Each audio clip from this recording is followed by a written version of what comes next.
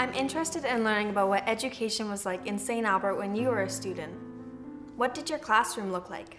When I started school in grade one, I started at the brick school. And there were only four classrooms in the school two upstairs and two downstairs. In each classroom, you had a cloakroom, which was behind the main um, blackboard. And in that cloakroom, you also had uh, a little container for water because there was no running water. Then, as I progressed through schools in St. Albert, there was the little white school. Then we went to what was the Percy Page Center. Now I think they call it the incubator, business incubator. Then for uh, high school in grade 12, uh, we went to what is now Father Jan, and that was St. Albert High.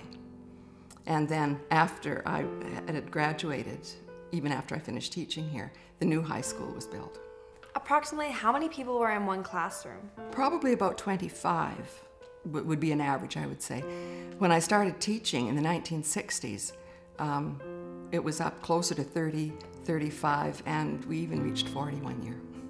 Was there more than one grade level in the same room? Sometimes, not, not usually, but in the old brick school there was because um, there were only four classrooms for 12 grades. So uh, the primary classes were together and then uh, grade 10, 11, and 12 were in one class.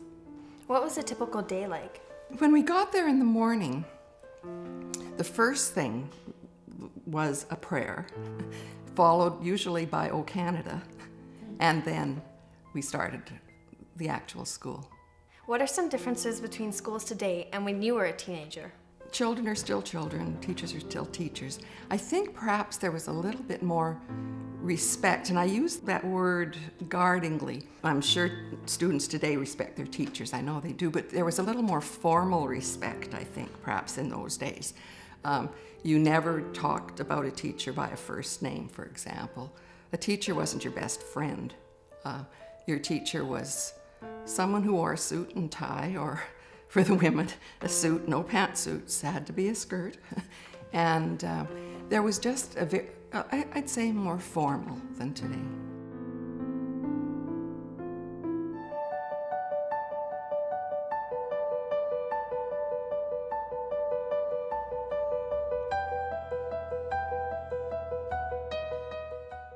Welcome, Senator Chalifoux. Well, thank you very, very much, Jesse. What we're going to be talking about today is Canadian history. The Canadian history, we have such an exciting history in Canada, and we're the best kept secret in the country. So, hopefully, today you're going to get a peek at what our people have done all throughout the years in developing and negotiating all of the things that were happening, the good things that are happening here in Canada. You were born in 1929. Could you tell us about your family? My maiden name is Villeneuve. My great great grandfather was born here in this area in 1803. My great grandfather was born here in St. Albert. My grandfather was born here, and my dad was born here. And my dad was born here in 1892 in St. Albert. My grandmother, Julia Boucher, she was born in Lac St. Anne in 1840. So we have been around as Metis and Cree, we have been here in this country for generations and generations because we came with the fur trade. Before nominated as Senate, you were called an activist. Could you tell us about some of your work? When I was married and I had my children, and then I left because of a violent domestic situation, and uh, I worked, and I worked all the, all the time and raised my children. That was what part of it. But as an activist, my, my father was also a member of the Métis Association. My grandfather was a vice president here in St. Albert in 1895, and he was the vice president of the Half-Breed de Norquest uh, Association here in 1895.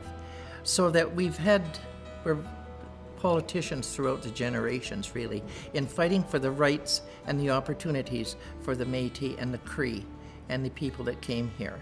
And so this is what I've been doing all my life. I'm an organizer. I was organizing up in the northern part of Alberta and in, in the territories and right across in through to BC. We were, I was organizing the people to, uh, in local government and also in community activism so that we have a voice. It's very important that we as Canadians have a voice. How did you know Jean Chrétien? And what was it like for him to ask you to become a senator? I was not a liberal as such, you know, I wasn't part of the Liberal Party or anything, But I really always liked Jean Chrétien because he was a uh, he was a community person and he always fought for the people. And so when he uh, asked me, I asked him, I said, Why me? I had never been part of the political scene or anything like that.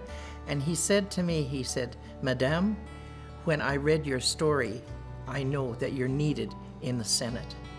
So I was really, really proud. So then he asked me in French, you know, can I speak French? And I was so excited, I answered him in Cree. so, but he was a, a, marvelous man, marvelous, marvelous man. I know that he was, you know, very controversial, but he was. Uh, I watched him when I was in the Senate, and I met with him every week and, and things, and he was always talking on issues. It wasn't personalities; it was issues and the concerns of, of the of the nation. Very impressed with Jean Chrétien.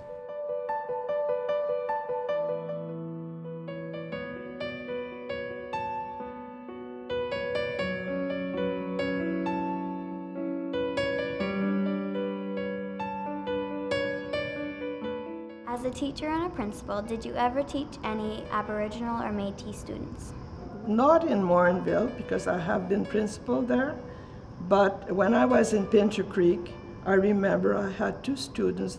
We had students from the reserve, which uh, I can't remember the name of it, but it was a few miles uh, away from Pincher Creek. And I had two big guys in grade, grade 11 or 12 and they, I, I was teaching typewriting.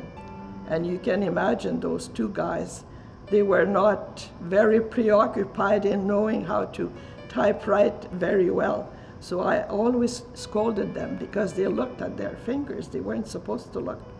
So I remember one was Jim and the other one, I can't remember the name, but I found out afterwards that he had committed suicide.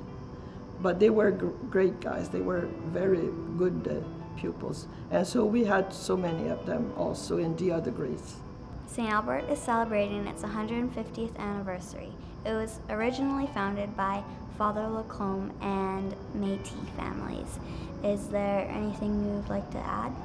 St. Albert was founded also by, by French Canadian families because it was uh, around 1891 or that the, uh, the pioneers came from Quebec to establish themselves, to take homesteads in Morinville, especially around St. Albert.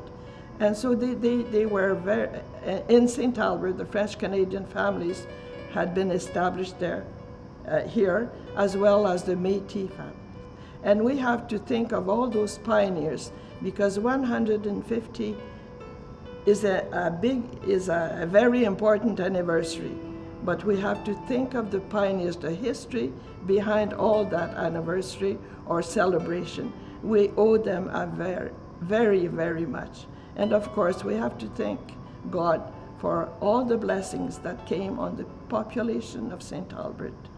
Sœur Trottier, c'était un plaisir de vous rencontrer. Thank you very much for coming. We had a pleasure meeting you. Ça m'a fait plaisir. Merci beaucoup. Je suis très honorée d'avoir été invitée.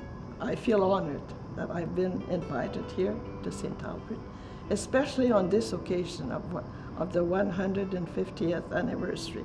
Especially as a historian, I just love it.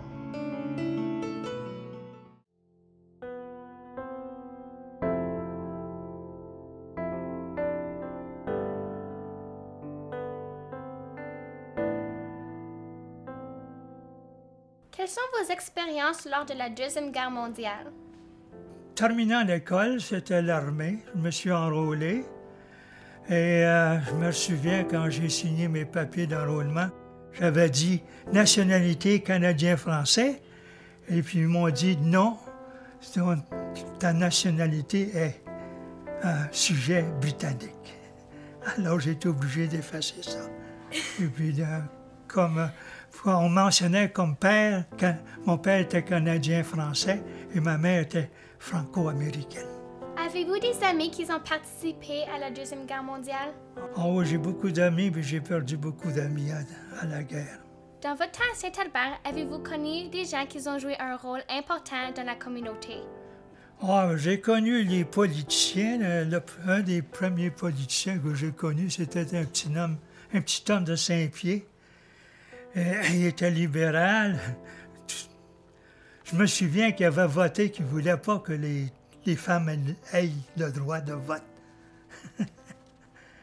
Ensuite, j'ai été suivi par d'autres francophones. Avez-vous établi une famille à, Saint-Albert? Ah oui, j'ai établi une famille. J'ai établi une famille de 16 enfants. Êtes-vous resté à Saint-Albert par choix ou par circonstance? Je suis venu à Saint-Albert pour construire une maison. J'étais vétéran, alors j'avais droit à un hectare de terrain. J'ai acheté un hectare de terrain dans, le district Grandet. Aujourd'hui, euh, j'ai vendu ça à la ville de Saint-Albert, puis c'était un parc écologique au, au nord du l'étang Grandet sur Grandin Road. Saint-Albert célèbre son 150e anniversaire. Cela a été établi par des métis et des francophones. Avez-vous un message à dire à tous les jeunes francophones de Saint-Albert? Ouais, vous êtes bien chanceux, vous. Vous avez des écoles francophones. Mes enfants n'ont pas eu l'occasion d'aller dans les écoles francophones. Ils avaient seulement le français à la haute école, le français 10, 20, 30. C'était une étude de la grammaire seulement. On n'apprenait pas à parler. C'était une langue morte. Alors, vous êtes très chanceux. Le plus jeune de ma, le septième de ma famille a eu la chance d'aller à- apprendre le français dans les écoles d'immersion. Il a commencé à, aller à l'école Grandin à Edmonton. Le district scolaire de Saint-Albert leur donnait un taxi pour les voyager de Saint-Albert à l'école Grandin. Rendu au secondaire, il est allé à l'école G.H. Picard, aujourd'hui l'école Maurice Vallet- Lavallée. Alors il voyageait dès Saint-Albert à l'école G.H. Picard. Monsieur Cournoyer, ce fut un plaisir de vous rencontrer. Merci d'avoir accepté pour venir à l'école Alexandre Taché. Merci.